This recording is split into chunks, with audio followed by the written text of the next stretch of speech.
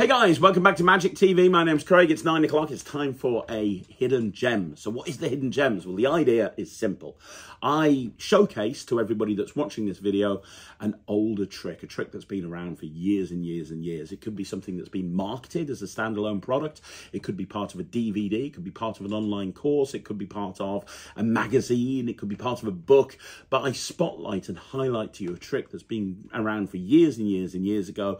And there's a chance that you might not be aware of it. Now, for me, this is one of the most important videos on the channel. Magic TV is all about this. And the reason is, uh, we always race to buy the latest and greatest trick. It's just something that we do because the marketing machine pushes us towards that latest and greatest trick. It's not about the tricks that have come out from years gone by. It's about that latest trick. And every single discussion forum, whether it's on Facebook or Reddit or the Magic Cafe or various different platforms, they always talk about the new trick that comes out because that's what everyone's excited about, right? And rightfully so. It's exciting when new tricks come out. But here's the thing, the tricks that came out from years gone by, they are just as good as the tricks that have come out recently. And uh, a lot of people don't talk about them. So if you want something unique in your act, if you want something different, if you want something that not everybody is doing, you want to look at some of those older tricks because a lot of people, they put those new things into their act and they forget about the tricks that have been around for years and years and years. And uh, and and for me, I love talking about tricks that have come out from years ago. And I'm going to give you uh, today. I'm going to be talking about one of my favorite gaff decks of all time.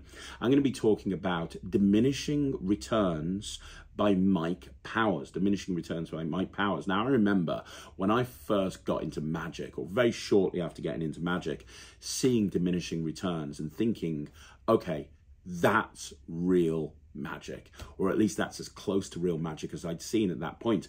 and and when I watched diminishing returns I had I thought I was really good at magic. I'd learned a few principles, I'd learned a few routines, and then I saw this and it just blew me away.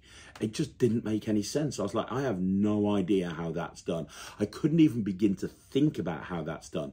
And I bought it, and when I learnt it, I would perform this everywhere. Now, if you don't know what diminishing returns is, I'm going to perform it for you right now.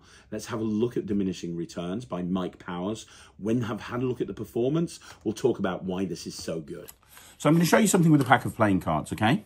Okay. Uh, 52 cards, um, 52 possibilities. Now, for some reason, I don't understand why this trick does not work with jokers. Uh, I've tried to do it with jokers in the past. It just doesn't work. So we're going to put the joker to one side and we're just going to use the rest of the cards. Is that fair? Yeah. Now, I'm going to spread the cards out on the table so you can see them all. And I just want you to name any card that you want to. It's totally up to you. Um. Oh, okay. Uh, nine of diamonds. Where's that? Right there. No, back. There, yeah. there it is. Okay, cool. And are you happy with the nine of diamonds? Yeah. You know what's really weird? That card, you pick the only card in the deck that's different to all the other cards. Oh. oh. I don't know if you noticed that. Did you Did you realise that the nine's different? No. I mean, all the other cards are just completely black, uh, completely tiny. Look at them all. They're all tiny, tiny, tiny, tiny, tiny little cards, except for the nine of diamonds. I mean, it's amazing that you were able to pick the only tiny, tiny, tiny card. Um, the only what's, big card. Well, the only big card, yeah. What's interesting, though, is if I put it in the deck, you can actually see the size difference. Now, the only way to fix this is to take the cards and do this. And then what happens is the cards sort themselves out and they all go really big, except for that nine of diamonds. See, I told you it was a tiny, tiny, tiny card. There it is. It's the it's now the only one that's tiny in a big deck of cards. Uh, right. The only way to fix this, you see that nine of diamonds? Yeah. If I pull it out, it becomes bigger again. Now it's the same size as every other card in the pack. And that is just completely impossible. So I think first thing that we need to do is get the elephant in the room out of the way. And what do I mean by that? Well, we need to talk about um, uh, we need to talk about the fact that this is not a walk around piece. This is not a piece that you would do in a strolling environment. This is something that you're going to need a table to perform, ideally with a close-up pad. So there's certain environments where this won't work, and there's certain environments where they where it will. If you're working behind a bar, if you're doing a formal close-up show, if you're doing a um, a parlor show, if you're doing an environment in which you can control the position in which you perform, this is great. Uh, and as long as you're aware that you need that sort of environment, it's not a problem. Basically, you need to be able to spread the cards on the deck. The whole way this works is having the ability to spread the cards on the deck. Now, here's the thing. This is let me explain why this is so good. It's so good because laymen assume that they know what the card trick is going to be that you're going to do. Be honest with me. How many times have you been to show someone a card trick, whether it's a gig or a non-gig or a social situation?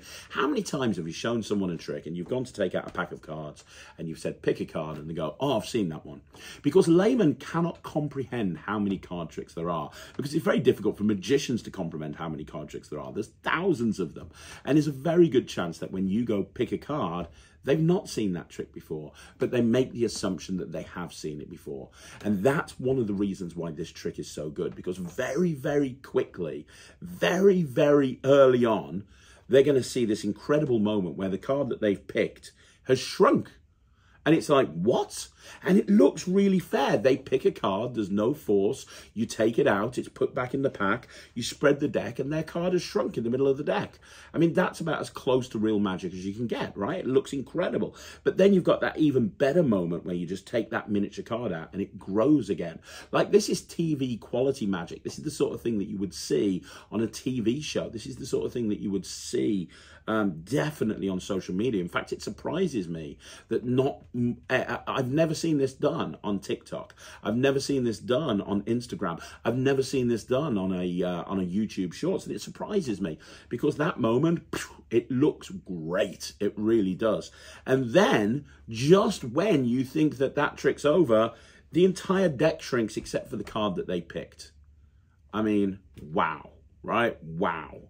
That, that, that moment right there. When you think about the structure of this routine and you think about exactly what's happening in it, it's so strong because each phase builds. The first phase is good, then it grows and it's even better. Then the entire deck shrinks, and then boom, the deck goes back to normal. I mean, it's great. Talk about establishing credibility. It's why diminishing returns is one of the best openers to a card set that you're going to see. Because by the time you've done this, people just assume that you are incredible with a pack of playing cards and you know how to do anything. And they're seeing magic that they've never seen before. It's not like they're going to turn around and go, oh yeah, I've seen that one. Oh yeah, really? You've seen a deck, you've seen an entire deck shrink right in front of your eyes. And when I do diminishing returns, I really like to include uh, the shrinking card case because the shrinking card case for me is a fantastic way to get into this because you bring the deck of cards out and now the card case has shrunk and it kind of um, foreshadows what they're going to see in the rest of the routine. Um, but if you're structuring an act together and you want to put something into your act, now this used to be a classic dealer item. This used to be things that every single dealer would dem because, you know, dealers love tricks that they can dem that look super visual, that are actually really easy to do. And that's what this is. This is a really easy trick that you can do. And, and as soon as you do it, you're going to, you're going to grab everyone's attention. It's very, very easy. Um, but it looks amazing. And I don't see dealers doing it anymore. I don't see anyone talking about it. I can't remember the last time anybody mentioned diminishing returns.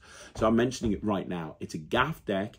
It's fully gaffed. It's not examinable, but right time, right place. This is absolutely awesome. And like I say, if you're a social media magician and you post on social media all the time, why are you not doing this trick? Because this is something I'm not seeing any other social media magician do. And I reckon this would get great views. In fact, I'm going to speak to Ryland about doing this on his Instagram. Uh, but it's called Diminishing Returns. It's a gaff deck. You can get it from all good magic dealers. It's by Mike Powers, who is an absolute legend. And this trick is sick. So there you go, guys. That's another Hidden Gems in the Bag. Do me a favor. Let me know what you think in the comments down below. Now, you want to see more videos like this, you know what you've got to do. Just like the video, subscribe to the channel, leave a comment down below. Don't forget, if you want to join the Netrix, you can do so right now by going to www.thenetrix.com. Hundreds of tricks up there, hundreds of sleights up there. We're adding new ones every single week. And uh, also, we've got a Discord channel now, right there in the Netrix. So any members of the Netrix can access the Discord channel. And myself and Chris James are wanting to make this the number one Discord channel in the whole of Magic. And I think that we're going to make that happen. But you want to know more? Go and check out the Netrix. I will see you again soon. Thank you so much for watching. My name's Craig from Magic TV.